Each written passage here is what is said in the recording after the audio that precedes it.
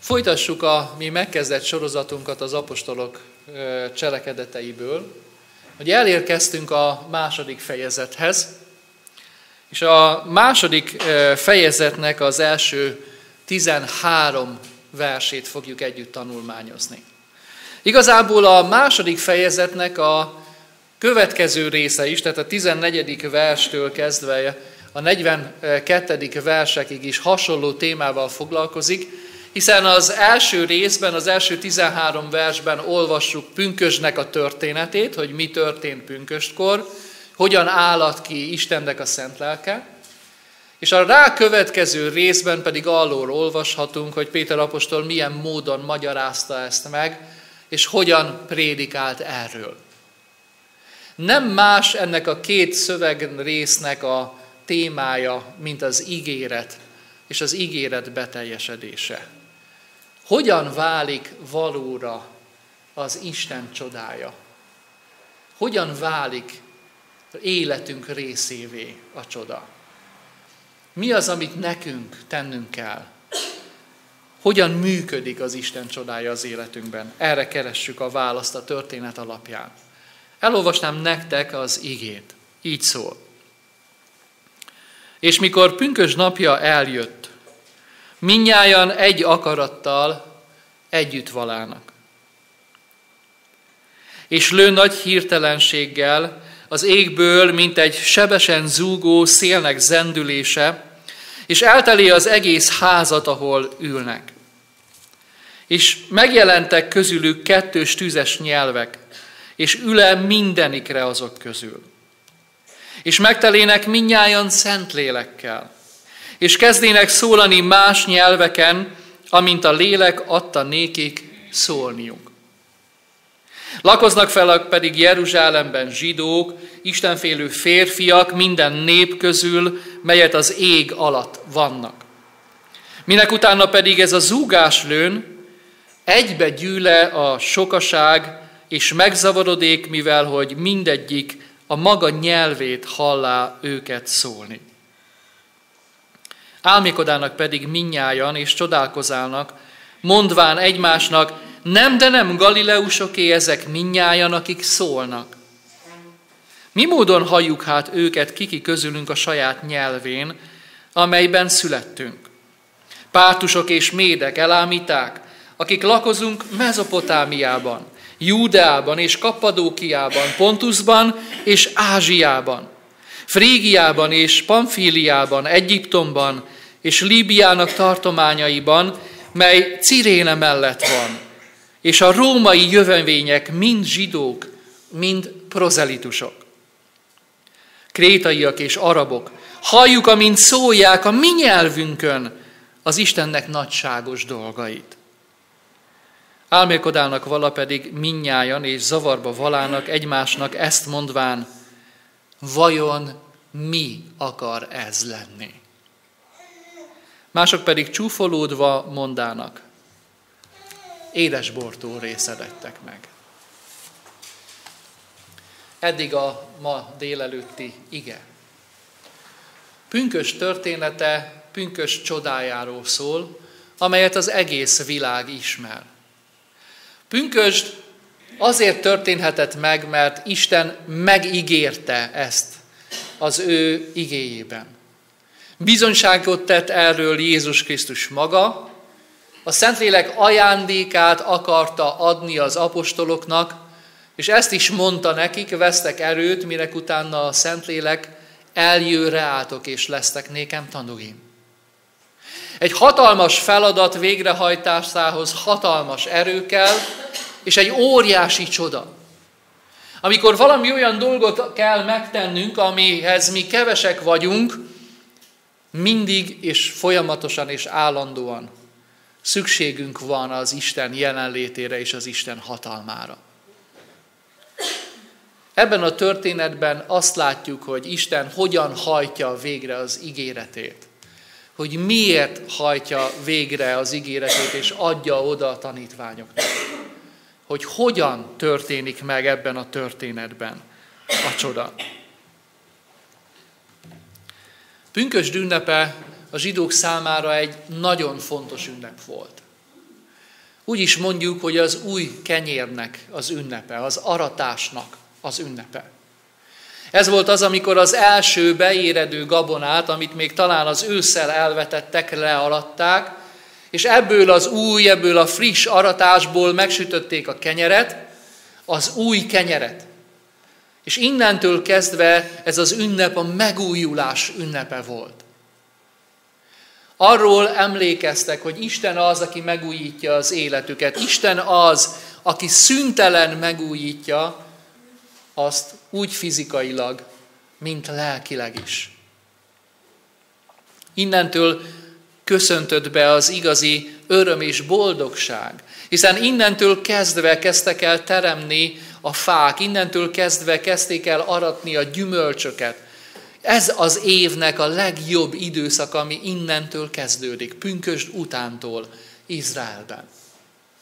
Hasonlóan van ez a mi életünkben is, nem? Alig várjuk, hogy eljöjjön a tavasz, alig várjuk, hogy a virágzás után, májusi virágzás után elkezdjenek érni majd a korai gyümölcsök, és mi is alig várjuk sokszor az új aratást és a friss dolgokat, nem? Megújul az ember természete, az ember lényege fizikailag is, az egész teste megújul ilyenkor. És az életünk ilyenkor tele van örömmel és vidámsággal. Vége van a télnek, és kezdődik valami igazi új az életünkben. Isten ezt az ünnepet használta ki arra, hogy az ő egész népét megújítsa és megváltoztatja. Jézus Krisztus kereszt halála után senki nem gondolta azt, hogy az ő követőivel számolni kell. Nem tartották jelentősnek azokat, akik még ezután is összejöttek és összegyűltek Jézus Krisztus nevében. Amikor azt olvassuk, hogy egy akarattal együtt voltak, sokszor olvassuk ezt, hogy nem máshol történtek meg ezek az összejövetelek, mint például a templomban. A farizeusokat és a magas tanácsot azzal, hogy Jézus Krisztust kivégeztették, már nem zavarta az, hogy néhány követője még mindig ott van a templomban, még mindig tanít. Nem tartották ezt a dolgot lényegesnek. Nem gondolták azt, hogy Isten ezek által az emberek által újítja meg az ő népét, és hogy létrehoz egy teljesen új közösséget, amely meghódítja a keresztény vallással az egész világot. Mégis hogyan kerülhetett erre sor? A tanítványokról és az emberi feltételekről nem sokat kapunk itt ebben a szövegben. Azt olvassuk gyakorlatilag, hogy mindannyian egy akarattal együtt voltak. Persze, hogyha már próbáltatok létrehozni egy egy akaratot, egy akármilyen kis közösségen belül, akkor tudjátok, hogy ez sem könnyű feladat. Én nekem mindig az jut eszembe, amikor rábírom, megpróbálom rábírni a családomat arra, hogy csináljunk valamit együtt közösen. Öten vagyunk a családban, három gyerek, meg a feleségem. Már ezt nehéz egy akaratra hozni, hogy most mégis hogyan legyen és hogyan működjön. Nem mindig könnyű, igaz? Mert mindenkinek megvan a maga akarata. Tehát én azt gondolom, hogy ez nem egy egyszerű dolog, hogy az apostolok között ez az egy akarat megvalósult, hogy egyszerre voltak egy helyen, egy akarattal, ugyanabból a célból. Lehet, hogy ebben az egy akaratban nagy szerepet játszott a félelem. Egyedül maradtak Jézus nélkül. Félelem a kívülvalóktól, és félelem a felelősség terhétől, amelyet Jézus Krisztus rájuk helyezett, menjetek, tegyetek tanítványokká minden népeket az egész világon. Tehát a feladattól való félelem és az emberektől való félelem is egy akaratra késztethette őket. Hogy keressék az Istent. Hogy kérjenek segítséget tőle. Akarják azt, hogy az Isten vezesse őket.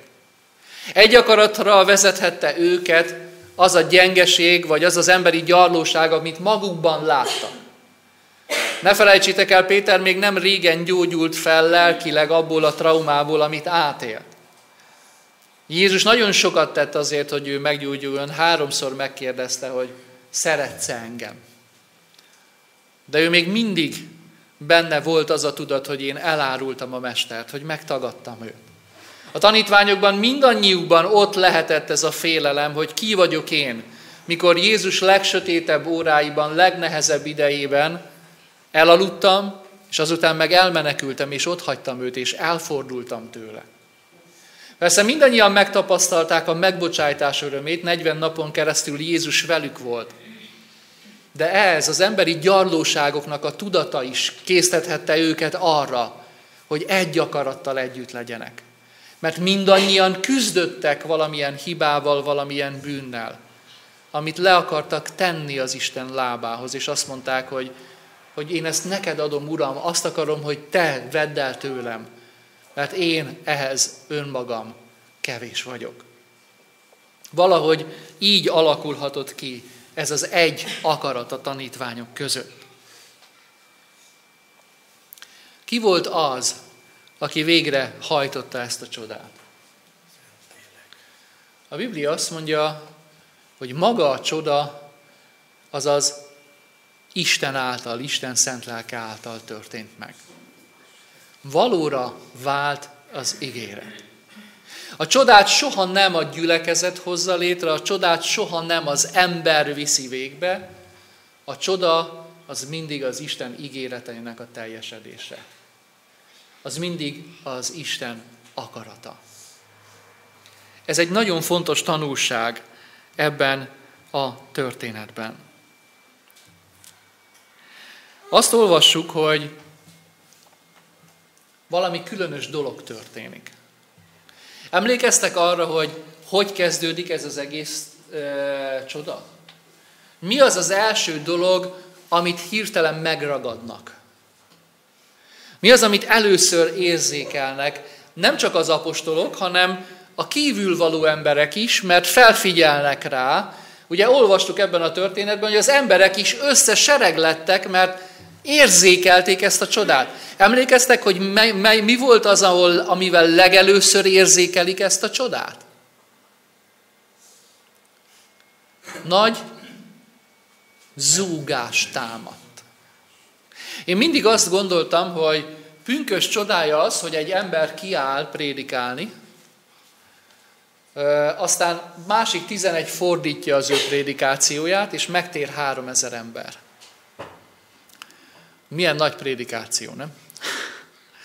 Olyan, mint amikor Mark Finley az első sorozatát tartotta 96-ban, és akkor műholdon keresztül sugározták, és mi vettük ezeket a nagy, emlékeztek, még volt egy ilyen időszak, ilyen nagy tányér antennákkal, sok gyülekezet felszerelkezett ilyen műholdvevő készülékekkel, és akkor vették az élő egyenes adást a szatelliten keresztül, és vetítettük ki ilyen nagyon pixeles projektorokkal, ilyen kezdetleges projekt, projektorokkal a gyülekezetben, és hívtunk embereket, és elég sokan el is jöttek. Hogy valami ilyesmire gondoltam én, mind a pünkösdi csodára. De ez a csoda nem erről szól. Azt olvassuk, hogy ez a pünkösdi csoda úgy kezdődött, hogy az emberek felfigyeltek valamire, egy zúgásra, és ez a zúgás nem volt más, mint egyetlen egy dolog. Elkezdett fújni a szél. Elkezdett fújni a szél. Nem tudom, hogy milyen időjárás van Jeruzsálemben, a pünkös táján.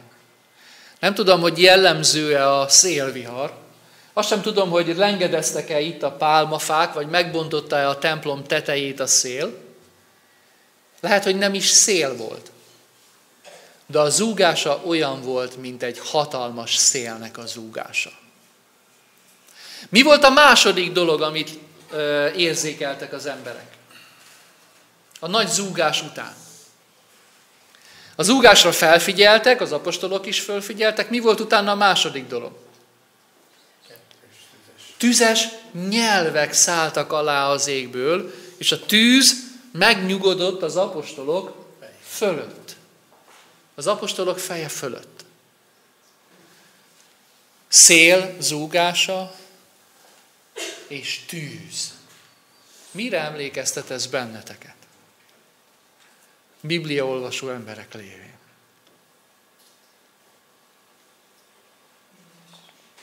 Tessék?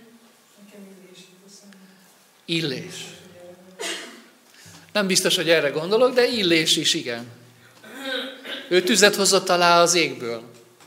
És a jelenések könyve össze is kapcsolja egyébként illést az utolsó időben való pünkösdel. Hát nagyon is sok köze van hozzá. A pünkösd az a Szentléleknek a csodája. És a szélről és a tűzről valaki már beszélt a Szentlélekkel kapcsolatban. És ez nem más volt, mint maga Jézus Krisztus. János evangélium a harmadik fejezete számol be arról a történetről, amikor Nikodémus elmegy Jézus Krisztushoz. És nem érti, hogy hogyan lehet újjá születni, hogyan lehet megújulni Szentlélek által. Ugye nem felejtettétek el, hogy a pünkösd a megújulás ünnepe. Isten a népét akarja megújítani, az egész világot akarja megújítani, és ezt a Szentlélek által akarja tenni. A Szentlélek által akarja, hogy minden ember újjá szülessen. És ezt a megújulást Jézus úgy mondja el a Szentlélekkel kapcsolatban, János evangélium a harmadik fejezetében, hogy milyen a Szentlélek által való újjászületés. Hogy olyan, mint a szél zúgása. Nem tudod, hogy honnan jön, és nem tudod, hogy hová megy, de hallod. Jelen van. Ott van. Kiárad és hatalmas erővel megragad. Mert az Isten az, aki ezt megcselekszi. Nem más pünkösd csodája, mint Jézus Krisztus tanításának és ígéretének a valóra válása. Még egy dolog, még egy történet eszembe jut a tűzzel kapcsolatosan. Emlékeztek arra, hogy keresztelő János azt mondja a tanítványainak, hogy aki én utánam jön, az nagyobb nálamnál, mert ő mit fog tenni? Mert ő szent lélekkel és tűzzel fog benneteket megkeresztelni. És ott vannak a tanítványok. Emlékeznek, amikor elkezd zúgni valami olyan, mint hatalmas szélzúgás a Jézus szavaira. Hogy a Szentlélek olyan, mint a szél, nem tudod honnan jön és hová megy, de a zúgását hallod. A tanítványok javarésze keresztelő János tanítványa volt először, ezért emlékeznek keresztelő János szavaira, aki azt mondta, hogy aki én utánam jön, az szent lélekkel és tűzzel fog megkeresztelni benneteket. És ők emlékeznek erre, amikor a tüzes nyelvek szállnak alá. És megértik azt, hogy ez az a csoda, amely Istentől jön. Ez az a csoda, amely által Jézus Krisztus újjá formálja őket, újjá formálja az egész közösséget, az egész gyülekezetet. A csodának a titka megérteni az Isten ígéretét. Elfogadni az Isten ígéretét. Akarni az Isten ígéretének valóra válását az életünkben. Mert amikor akarod, hogy az Isten ígérete valóra váljon az életedben, amikor megérted az Isten ígéretét az életedben, és amikor elfogadod az Isten ígéretét az életedben, akkor a csoda valóra válik. Mind a három dolog nagyon-nagyon fontos. Akarni, megérteni és elfogadni. A kérdés csak az, hogy vágysz-e az Isten ígéreteinek a beteljesedésére a te életedben. Ismered-e az Isten ígéreteit, amely reád vonatkozik az Isten igéjében? És elfogadod-e az Isten ígéretének a valóra válását az életedben? Ehhez nagyon-nagyon ismernünk kell, hogy kik vagyunk, hogy mi a dolgunk, hogy mi a szerepünk az Isten művében, hogy mi végre vagyunk ebben a világban. Hogy Isten hova helyezett bennünket, hogy mit vár tőlünk, hogy merre akar vezetni bennünket. Az apostolok pontosan tudják ezt. Ott vannak azon a helyen, ahova Jézus parancsolta őket. Készen arra, hogy megtegyék azt, amit Jézus kér tőlük. Azonosulnak az Isten céljaival, azonosulnak az Isten akaratával. És ezért az Isten valóra váltja az életükben az ígéretet, és megtörténik a csoda. A csoda nem Péter pünkösdi prédikációja, hanem a Szentlélek kiáradása.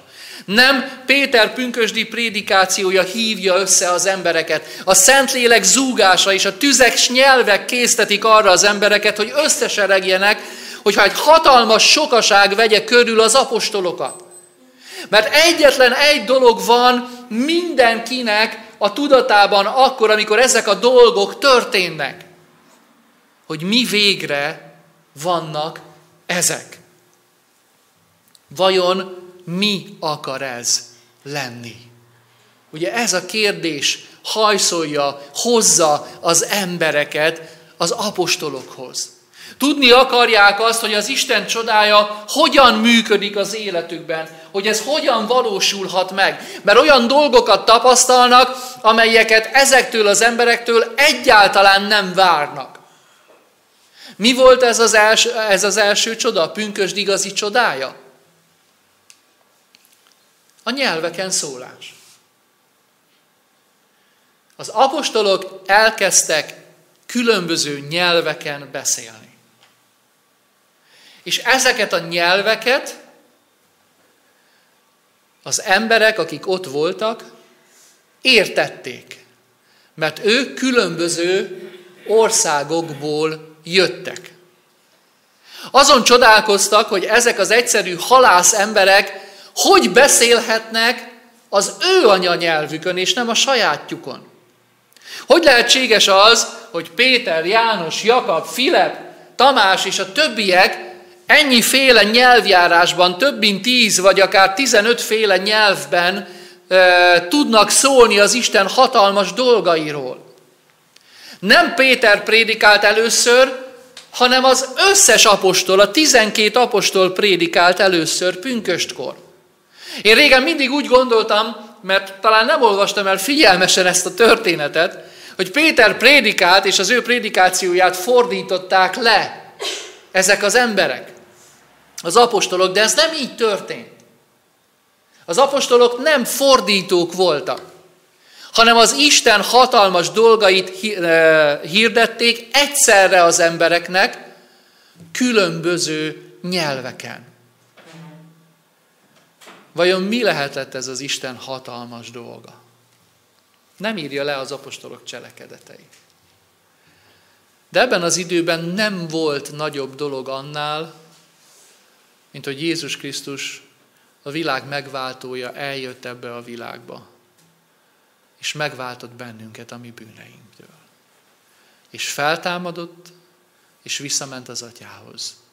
És most ott van, és esedezik életünk. Tudjátok nem, hogy akkor nem volt nagyobb dolog ennél. Most sincs. Most is ez a legnagyobb dolog a világon. És van valami, ami közöttünk és pünkös történetek között még szintén egy párhuzam.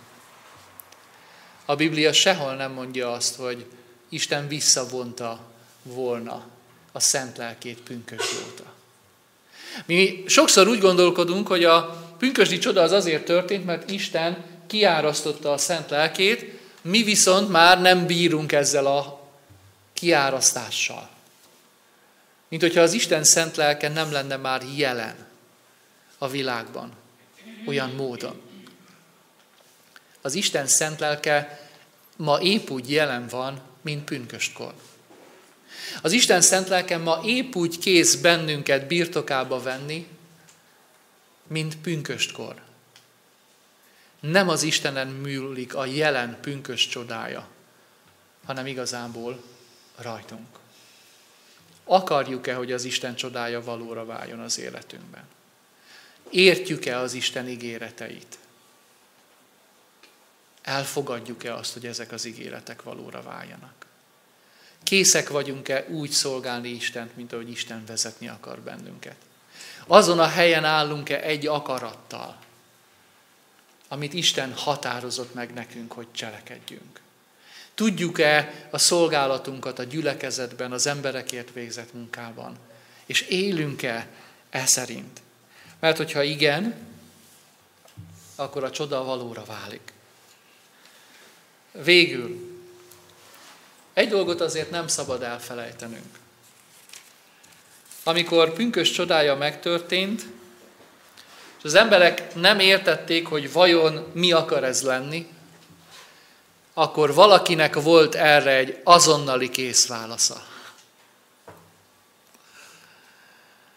Azonnal ott volt a válasz, hogy édesbortól részegettek meg.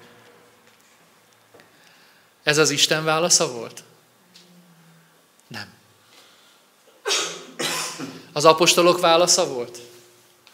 Nem. Majd azt meg fogjuk nézni, hogy mit válaszol erre Péter. Ez az ellenség válasza volt. Amikor az Isten hatalmas erővel óriási dolgot tesz az ő követőin keresztül, erre az ördögnek mindig van egy azonnali kész válasza, hogy ez miért van. De ezek az azonnali válaszok mindig elterelik a figyelmünket Istenről, elterelik a figyelmünket a valóságról. Erre nagyon figyelnünk kell.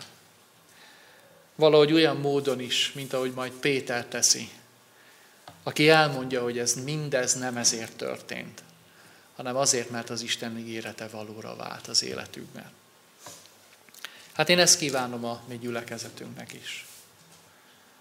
Akarjuk az Isten ígéreteinek a valóra válását az életünkben. Értsük az Isten ígéreteit, és fogadjuk el azt.